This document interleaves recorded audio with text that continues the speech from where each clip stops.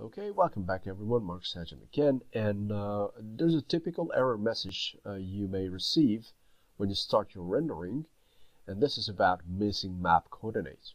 Now, when you have used a texture that has, when you have used a material that has a texture, and you have no UV coordinates, this is the moment when this dialog comes up, this warning, okay, because you have a map, but you have no mapping coordinate. So to solve this problem, you can memorize or pick a name, just circle 001. That would be our first. So let me hit on cancel. I don't want to render. And the easiest way to find the object is to press H and uh, type in here that we are looking for circle and 001. And when you hit enter, because there's only one, it will select only that one item and here we go. This is our model. So let me rename this to panel. It's easier to identify. And uh, we can isolate Alt Q, perspective, and zoom in. F4 to see the edges. Okay.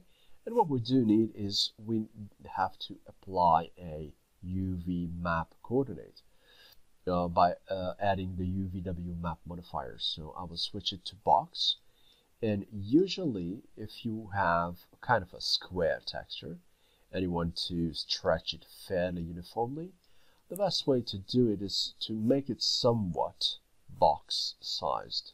Okay, so I'm just eyeballing this. I'm not super accurate. Uh, actually, I don't know what material on this, uh, what material is on this panel. Uh, I'm just fixing the problem that the UV map is missing. Okay, so let me leave isolation mode and uh, switch back to camera F9 to quick render. The, and line 15 and line 14 are also troubled, so these are next to each other. So let me line line 15, line 14 will be the first 00014 so this is why it was missing. Enter. And uh, uh, the object is selected within a group. Okay? So sometimes it is confusing so let me isolate alt q. I know it is a group because it the the name is uh, printed in bold. Zoom in. Ah I don't want to rename this.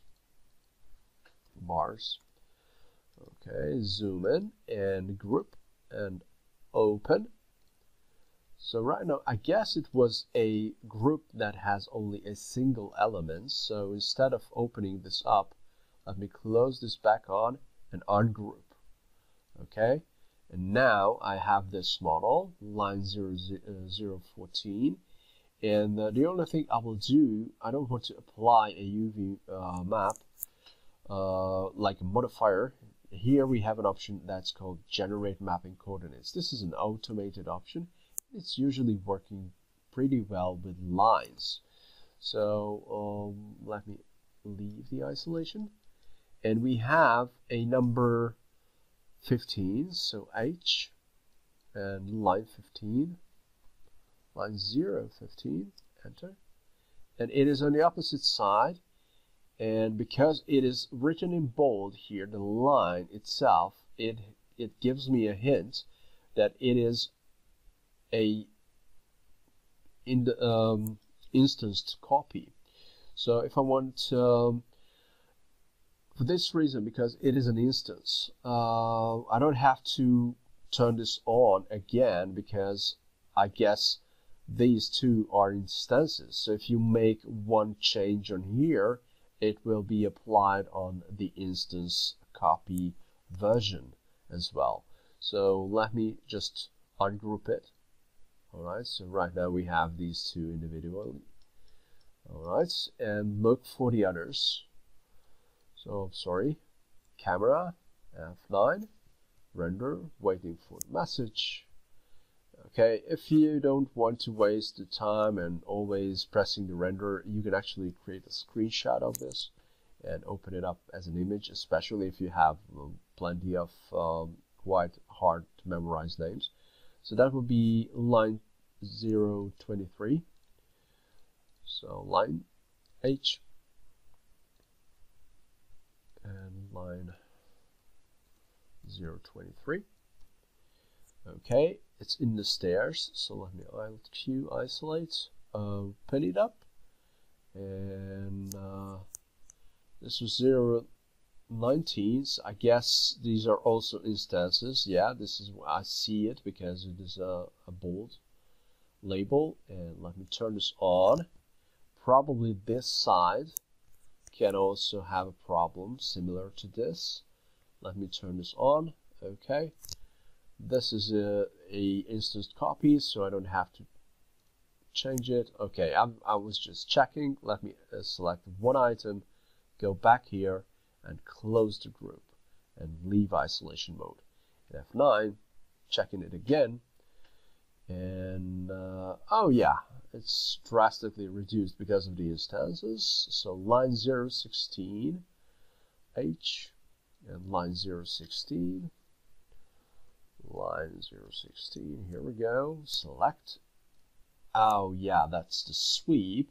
Now the sweep modifier because it is a standard modifier, there is a chance, there's always a chance you have some kind of an option to generate the mapping coordinates. Okay, so here we go. Mapping coordinates generated. And we had the last one, and that was rectangle. Now the rectangle is, uh, is somewhere here. Just let me check that. So, yep. Rectangle 01 cancel. H. Rectangle 0 1 we have two of these rectangles. Alt Q isolate. I guess it's a group. Alright group open. Let me select oh we still have a group within a group. It's absolutely possible. Um, mm, mm, mm, I will do something else. So let me the group is selected and uh, let me close this and let me explode.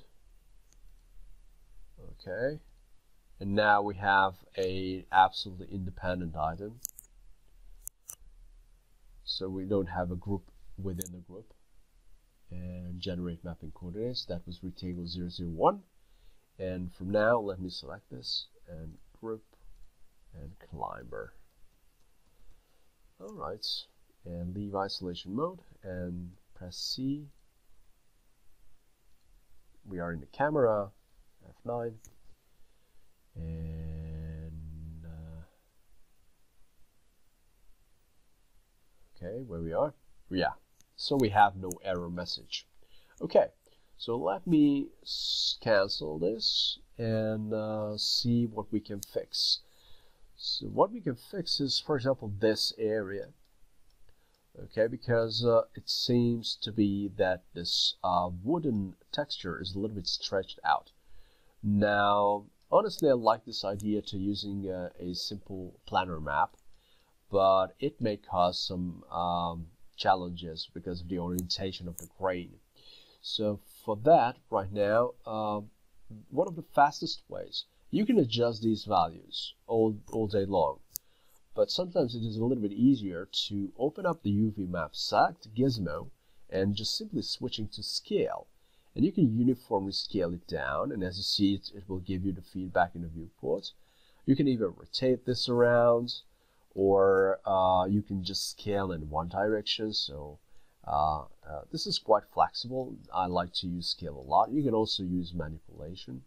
So manipulate uh, also works if you have something but right now we are just using the scale gizmo and the problem is the orientation is works fine for these wooden planks uh, like pointing to the uh, to the tip but here uh, these are a little bit odd uh, looking sideways so uh, one very practical and easy approach to fix uh, things like this is to convert this into an editable poly, and that way just collapsing the, the UV map uh, modifier, and then switching to polygon levels, polygon levels, where they where they are. Okay, yeah, it was just missed. Okay, selecting these sides, all right, because the orientation here is good, and applying while we have a pending selection. So applying a UV map. Now, this will result in something uh, unique that the UV map is only affecting those polygons that are selected. Okay, because the, the selection was live before we applied the UV map uh, modifier. And uh, just let me walk in the gizmo. And here's a little trick. If you press F2, F2 will show hide this red color of selection. Now this red color of selection is a little bit disturbing when you are adjusting textures and when on polygons, on selected polygons. So F2 will make it look like you have selected edges only. But no, it is a live polygon selection. It is just a very good help uh, to make it possible that you adjust your texture coordinates. Okay, so scale down, switching to rotation mode, A angle snap is turned on because I want to actually 90 degree rotation performed here. Okay, now it's quite good. Maybe the scale is too small, so let me scale it back up a bit. All right, and here we go. That's it. So now that is a uh, a little bit better uh, UV. All right, here we go. We have these columns, and uh, actually this comes a little bit stretched out. So what to do? Uh, we can turn on real world map size. That helps sometimes, uh, but real world map size makes it fairly small. Okay, so you have to have a proper texture that is capable to be used uh, real world map size. Uh, so in this case, we have to make it a little bit more flexible. So this is why we are uh, heading back and adding a UV map, a standard UV map. Of course, it is a box map. And um, we might need to scale it down. Okay, it was I was too harsh on this. Probably the orientation is not good because it, the, the grain is horizontal, so we want to alter that. Let me select Z. Probably if I rotate this, just switch rotation. Okay. 90 degrees, right? And fit. And scale. Which one? Ah, yeah. This is the scale I'm looking for, so something like this. All right. Uh, you can actually use only the scales. You can try uh, to switch to a different alignment. Go what works for you. Okay. Uh, the other little trick that can speed up your work once you have a UV map that's fairly good, you can do a drag and drop. So you can drag and drop the modifier itself, and now it is placed on the other columns as well. Okay, uh, so that's it for this quick uh, troubleshooting tutorial uh, with a few tips. So thank you very much and see you next time. Goodbye.